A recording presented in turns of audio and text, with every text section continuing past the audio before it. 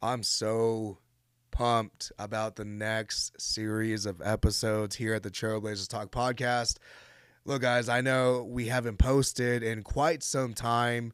Uh, to be honest, like when you go after and you build something, you get burnt out. We got a little burnt out with, you know, editing and filming and just not being content with where things are at. You know, when you're a creative, it's really easy to say, man, I'm not happy with this.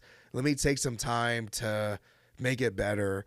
And although per, being a perfectionist is why most podcasts or businesses and entrepreneurs never get ahead, it's because they're so in their own head to why things are not where they're at. But let me also speak on that too, because I think it's important to have aesthetic in your podcast. Like there's some people talking like, hey, it doesn't matter what cameras you have, it doesn't matter your lighting, it doesn't matter your set, just deliver your content, which I totally understand why people think that's important because I once thought that was important. I once believed that, oh, I could just turn on the camera and my brand will be built. As long as I'm delivering my context, everything will build up, which in today's generation of constant competition, constant podcasts coming out, constant uh, brands going on social media, the the sea of millions, if not billions, of posts today. I believe if you want to capture an audience, especially if it's people you, that have no idea who you are, the organic scroll, you have to be aesthetically pleasing. Your lighting should look crispy. Your cameras should be at least clear. I'm not saying you have to have FX30s because they are, you know, they're not affordable for most people. You know, they're like $2,000 and some change. So you don't have to have the best equipment. I think you just have to be a good steward of what you can get. You know, if, if, if all you have is your iPhone, all right, bet. Use your iPhone, but get some good lights if all you have is you know your your macbook webcam all right cool. Make your setting aesthetically pleasing. Because here's what i do believe isn't an opinion it's actually a fact. People who are scrolling on instagram or tiktok or youtube when they see a video that looks pretty creative they stop and watch it.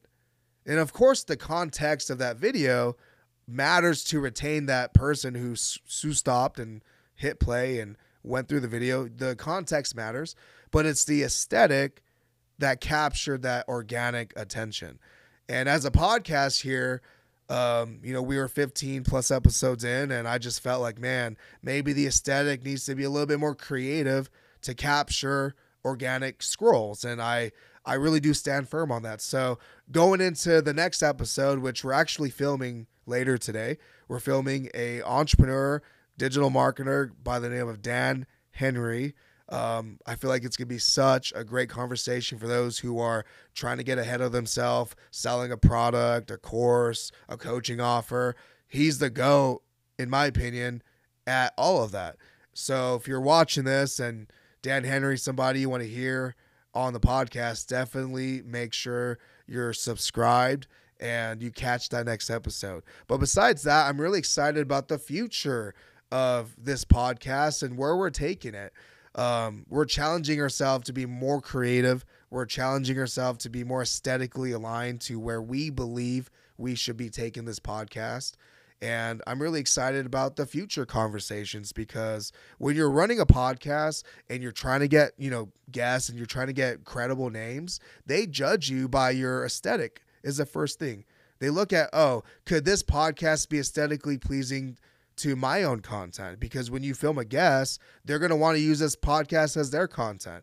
And if your aesthetic isn't there, they may not want to be a guest on your show. And mind you, this show isn't that big. I mean, we have a hundred and some change subscribers. So it's not like I can leverage my followers. So I have to leverage something.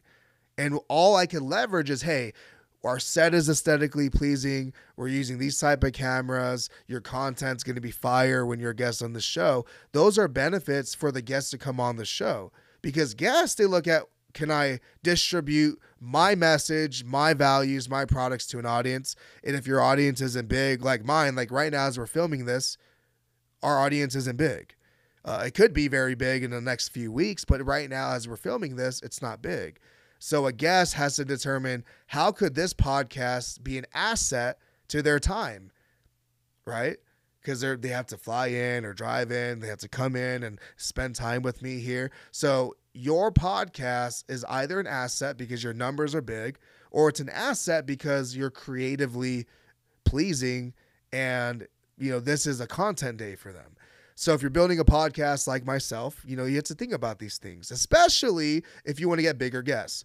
Um, which I'm really excited because I I finally feel that hey, our aesthetic isn't the best. Like we're not dumping a ton of money here, but we're stewarding what we have and we're making it feel aesthetically aligned to our podcast, which is why I'm really excited. So, thank you guys so much for just being tapped in with us here on YouTube and wherever this videos will be posted, Instagram, TikTok, etc. And uh, if you're not subscribed yet, hit that subscribe button. And Dan Henry's coming on next here at the Trailblazers Talk podcast. Peace.